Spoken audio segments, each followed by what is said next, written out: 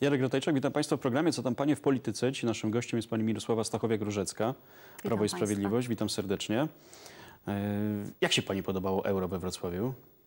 No, bardzo mi się podobało, nie tylko we Wrocławiu, najbardziej mi się podobały te emocje, które okazało się, że jesteśmy w stanie z siebie wykrzesać oraz to, jak wielką nadzieję sport może e, w narodzie wywołać. Sama tej, e, tym emocjom uległam, sama kibicowałam i naprawdę wierzyłam do końca, do ostatniej minuty tego meczu, że tego nieszczęsnego ostatniego meczu, że jesteśmy w stanie wygrać, tak? Że ten duch w naszym narodzie, w naszej drużynie prawdziwie Polski objawi się tym, że ostatnimi siłami wykrzesamy z siebie te dwa gole w ostatnich dwóch minutach i przejdziemy w eliminacjach dalej. Ale polityka, dziwią takie emocje? Naprawdę?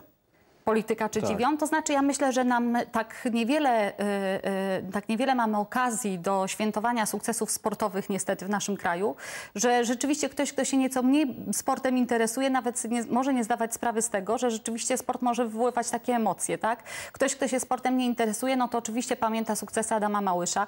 Ktoś, kto się sportem nie interesuje, kojarzy, że siatkówka jest w, nie, w niezłej formie, czy piłka ręczna, wszystko zgoda, tak? Ale jednak futbol ma to do siebie, że jest w stanie, jest tak widowiskowy być może, że jest w stanie rzeczywiście zaangażować jeszcze większą widownię, jeszcze większe emocje, czego zresztą świadkami byliśmy. No niestety, no, tak samo jak wszyscy Polacy, tak ja także smutkiem pokrywam się i jeszcze się z tego nie otrząsnęłam.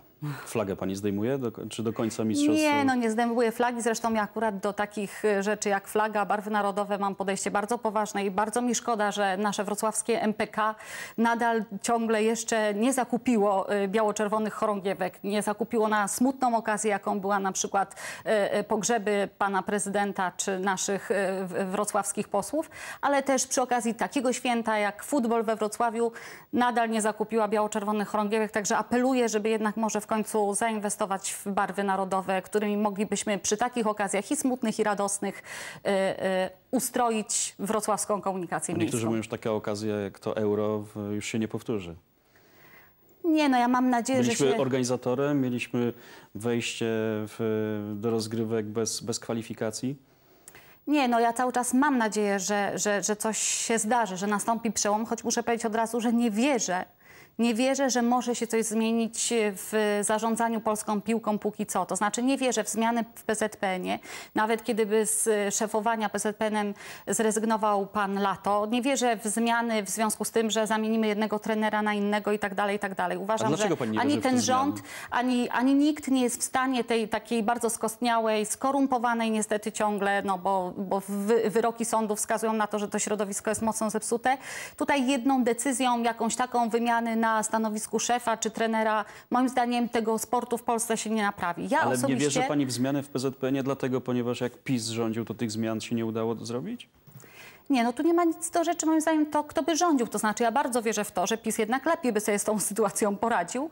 Y, Ale ja bym poszukiwała w tej chwili, póki co, jesteśmy skazani na platformę, y, szukania rozwiązań gdzie indziej, a mianowicie jednak w samorządzie, tak? Bo samorząd pokazał przy okazji tych mistrzostw i przygotowywania się do nich, że jest w stanie poradzić sobie z wielkimi zadaniami i ja bym upatrywała źródła rozwiązania problemów także y, w samorządach, w nas samych, tak? W tych y, miasteczkach, a konkretnie w inwestowaniu w polską młodzież po prostu, czyli we Wrocławiu w naszą wrocławską młodzież. Tak, ja nie jestem, nie wierzę w to, że PZPN jest w stanie zorganizować prawdziwe szkółki piłkarskie, sięgnąć po juniorów, trampkarzy i do samego dołu po nasze dzieci.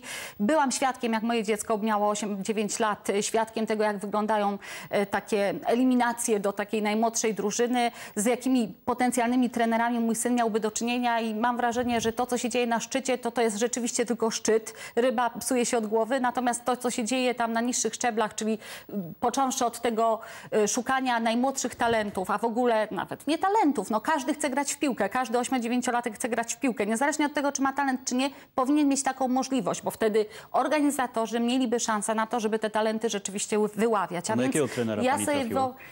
to zaraz opowiem. Ja w każdym razie wyobrażam sobie, że, że, że, że jednak powinniśmy inwestować na przykład zamiast w olimpiadę sportów nie wiadomo jakich, która nas będzie kosztować 90 milionów złotych, tak? właśnie tych, to wolałabym, żeby jakich. te środki jednak były przeznaczone właśnie na inwestowanie w naszą młodzież. Wtedy mamy szansę, że za kilka, kilkanaście lat będziemy na naszym pięknym stadionie mogli podziwiać wyczyny sportowe naszych wrocławskich dzieci. Ale tak? miasto mówi, że inwestuje. No inwestuje tyle, na ile może. No właśnie, inwestuje nie bardzo w młodzież, inwestuje, tak? No- w szkółki koszykarskie, w piłkarskie. Oczywiście jest ich za mało, tak? Mamy tylko Śląsk i super, ale oprócz Śląska nie ma nic, tak?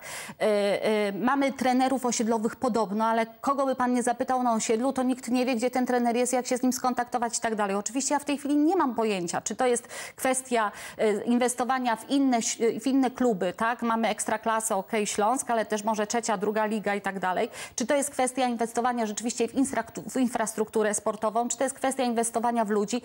Uważam, że jest pora, żeby o tym porozmawiać, bo samorząd ma potencjał, żeby rzeczywiście spróbować sobie z tym poradzić, żebyśmy za kilkanaście lat mogli na stadionie podziwiać wrocławian. Nie wiem, czy pan wie, ilu rzeczywiście wrocławian w tej chwili, czyli tych, którzy wywodzą się z juniorów Śląska, w tej chwili wchodzi w skład y, Śląska. Nie wiem, przyznaję się Jedna osoba. Jedna osoba, tak? Czyli to pokazuje, że tu jest jakby problem, że ta bardzo już wysportowana, tak uzawodowiona, y, uzawodowiony poziom sportowy to jest niestety świetnie, świetnie, świetnie. Ja się cieszę, że mamy Śląski, że wygrał i że jest w dobrej formie. Ale wolałabym i moim marzeniem jest, żebyśmy te wyczyny Śląska mogli oglądać, mając y, jednak świadomość tego, że to grają w dużej mierze wrocławianie. Nasz, Ale mam nasze- nadzieję, nasze że nie dzieci. idzie pani w stronę Jana Tomaszewskiego i nie ma nic pani przeciwko obcokrajowcom. W... Nie, nie, to nie o to chodzi. Znaczy, to pan powiedział obcokrajowcom, no to w końcu musimy się zdecydować, czy No to są Polacy, czy obcokrajowcy. Nie, chodzi o to, że musimy dać szansę naszym dzieciakom, tak? Jeżeli PZPN jest zajęty innymi sprawami yy, yy, i innymi pieniędzmi i nie bardzo mam wrażenie, zdaję sobie sprawę z tego, gdzie te talenty i kiedy trzeba to wydaje mi się, że dobrze by było, gdybyśmy sami o to zadbali, tak? Niezależnie od tego, samorząd- jakie te sukcesy potem będą. Najlepszą promocją jest moim zdaniem, choćbyśmy nie wiem ile pieniędzy na promocję Wrocławia wydali i zapraszali, tak, billboardami, filmami, wielkimi imprezami turystów do Wrocławia, tak, to jednak o Wrocławiu najlepiej będą opowiadać sami wrocławianie, czyli nasze dzieciaki, które będą mieć sukcesy i pokazywać te sukcesy, będą świętować, uczestniczyć w zawodach na całym świecie, najlepiej ten Wrocław rozreklamują. Ale ten samorząd to jest także Rada Miejska, więc do kogo te pretensje, pani radni? No w Radzie Miejskiej sytuację mamy w tej chwili taką, że rzeczywiście pan prezydent Rafał Dudkiewicz może o wszystkim decydować sam. I o sportach, e, o olimpiadzie sportów, nie wiem jakich, także zdecydował sam. Nieolimpijskich. Właśnie. I o wydaniu na nich 90 milionów także pan prezydent zdecydował sam, oczywiście z poparciem swoich e, 20, od swojego 20-osobowego Ale klubu. tego prezydenta wybrali wrocławianie. No, prawda jest taka, że wybrali, ale mnie wybrali także wrocławianie i mam duże poczucie, że mówię w ich imieniu i pewność i jestem przekonana, że wiele osób myśli podobnie jak ja, tak, że trzeba pomyśleć o wrocławianach po prostu.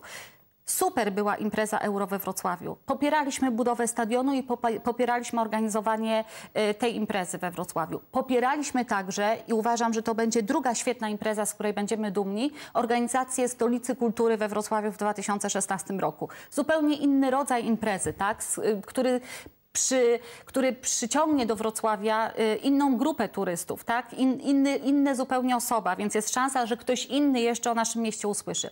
Ale myślę, że nie można przesadzić, tak? Nie można myśleć tylko o turystach i o promocji miasta. Trzeba pomyśleć o wrocławianach. Ja w trakcie y, euro, tuż przed, nawet sobie żartobliwie powiedziałam, że bardzo szkoda, że mamy strefę, no zresztą wielu wrocławian ubolewało, że mamy strefę kibica w rynku, ale skoro już w rynku zorganizowaliśmy strefę kibica, to może trzeba było pomyśleć o mieszkańcach i dla nich zorganizować strefę mieszkańca na ten czas, tak? Trzeba zrozumieć, że nie każdy sportem się jednak interesuje. Nie każdy chce uczestniczyć w tych imprezach. Wrocławianie, to, czy miasto, to przede wszystkim wrocławianie i pan prezydent nie może o nich zapom- zapominać. ktoś może powiedzieć, że taka jest cena mieszkania w centrum, taka jest cena mieszkania w mieście.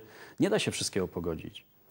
Zgoda. Jeżeli mamy do czynienia z jednorazową imprezą od czasu do czasu, taką jak koncert w rynku, to tutaj rzeczywiście muszę mieszkańcom powiedzieć tak.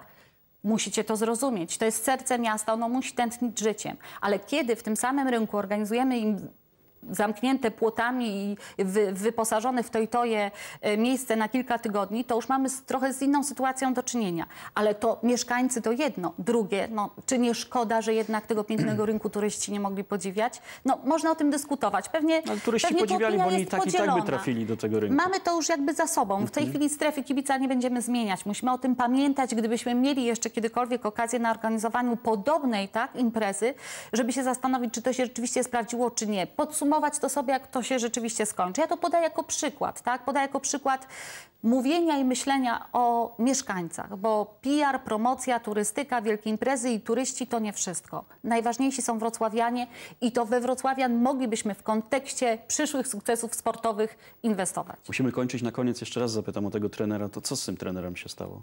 Z którym trenerem? Wspominała Pani, że trafiła Pani na jakiegoś trenera i była Pani w takim szoku, że... No to już opowiem. To była taka sytuacja, gdzie mm, no jak każdy, bo mam wrażenie, że każdy 8-9-latek jest taki czas właśnie w tym wieku, chce trenować piłkę nożną. E, Zdarzają się nawet takie akcje ze strony klubu takiego jak Śląsk właśnie, że są wysyłane informacje do szkoły właśnie do chłopców w tej grupie wiekowej, żeby jak mają ochotę stawili się na spotkanie z trenerem, bo on będzie wyłaniał tych, którzy objawiają jakieś zdolności. No i to wyławianie zdolności następowało po 10-minutowej obserwacji tych dzieci, które tam niby biegały dookoła, coś kopały piłkę i tak dalej. I następnie pan trener powiedział, ty się nadajesz, ty się nadajesz, ty się nadajesz, ty się nie nadajesz, a ty na bramę, bo jesteś duży, a ty dosyć szybki, to w ataku i będziecie taką super kasę wielką zarabiać kiedyś i tak dalej, i tak dalej, tak? Potężne rozczarowanie, tak? Te, ci chłopcy, którzy w tym wieku lat 8 byli przekonani, że każdy jest świetny i może kopać piłkę, się dowiedział wtedy pierwszy raz w życiu, że nie, że to nie dla ciebie, ta może- wielka kasa. To może to nie był trener, tylko selekcjoner, no bo... No nie wiem, nie wiem, co to było, bardzo źle to wspominam. Na całe szczęście my akurat trafiliśmy wtedy, no bo to matki mają tę zdolność, dowiadują się, jedna pyta drugą. My trafiliśmy do klubu Ślęza, który zresztą w tej chwili jest chyba też w kiepskiej formie, nawet już nie ma stadionu. Niestety, a szkoda, bo mogłoby być takich różnych klubów sportowych we Wrocławiu więcej, kiedyś było.